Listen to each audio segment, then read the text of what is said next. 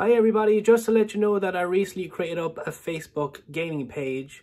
So uh, as YouTube hasn't sorted out the upload problem for me, so when I do go live on YouTube, it takes about a day and a half for the video to appear on my channel. So I thought, hey, why not just uh, create up a page on Facebook and do all the live streams there instead.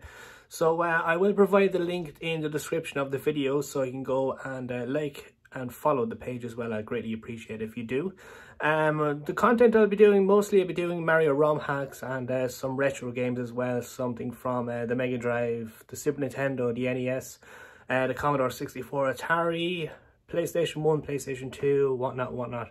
So uh, if there's games that you'd like me to uh, stream, do feel free, let me know as well. So uh, do go over to my Facebook page, guys. Give it a like, share, and a follow as well. I greatly appreciate it. I'm trying to build up those numbers. So uh, all the help would be greatly appreciated. So I will see you over there, guys. And uh, thanks very much. And I'll talk to you very soon.